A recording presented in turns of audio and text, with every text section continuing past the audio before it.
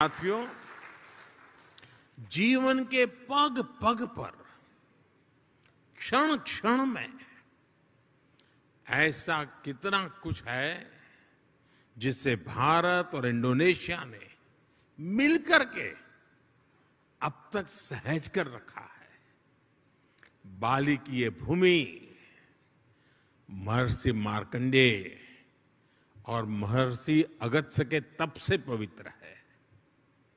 भारत में अगर हिमालय है तो बाली में आगुंग पर्वत है।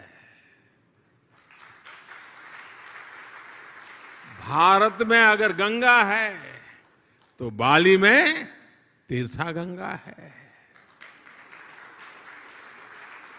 हम भी भारत में हर शुभ कार्य का श्री गणेश करते हैं। यहाँ भी श्री गणेश घर घर विराजमान है।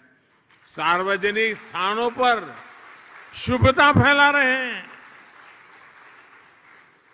पूर्णिमा का व्रत, एकादशी की महिमा, त्रिकाल संध्या के ज़रिए सूर्य उपासना की परंपरा, माँ सरस्वती के रूप में ज्ञान की आराधना, अनगिनत चीज़ें हम कह सकते हैं।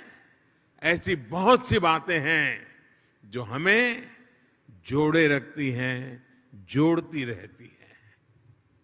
बाली का जन जन, महाभारत की गाथाओं के साथ बड़ा होता है।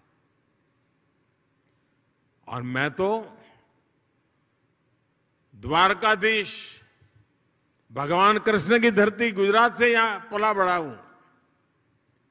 मेरा तो जीवन में ही बीता हुआ बाली के लोगों की जैसी आस्था।